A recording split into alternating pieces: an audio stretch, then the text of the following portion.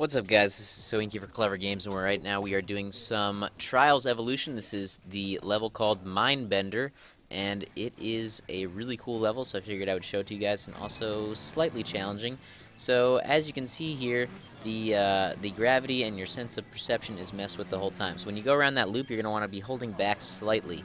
On this part, watch out because the gravity will shift forward every time, so you're going to be kind of heading toward the ground when you're going on that part. Now this part, the gravity is kind of shifting backwards. You'll feel yourself getting pulled back. And then uh, gravity is pretty much normal here, and then it'll go back to shifting backwards as you go up this section. Um, when you're going through here, you're going to find this little gravity cube. Uh, just go full speed through that, and that should get you up and over and onto the ramp. Uh, and then this is probably the trickiest part of the level because the, the level constantly shifts to the left as well as the gravity. So you just have to watch yourself, uh, watch your balance um, as you're going through, and then you're going to get to the end. And that is how you beat Mindbender. So I hope you guys have enjoyed this video and stay tuned for more Trials Evolution. We'll be putting up the hard levels as well as anything else we kind of find cool in the game, so stay tuned.